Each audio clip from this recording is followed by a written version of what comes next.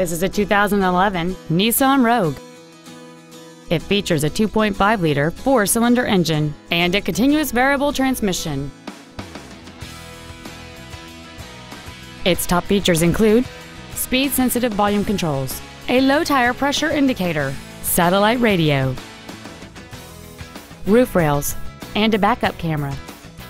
The following features are also included air conditioning, a rear folding seat, cruise control, dual airbags, three point rear seat belts, rear seat child-proof door locks, an external temperature gauge, a stability control system, a rear window wiper, and this vehicle has fewer than 44,000 miles on the odometer.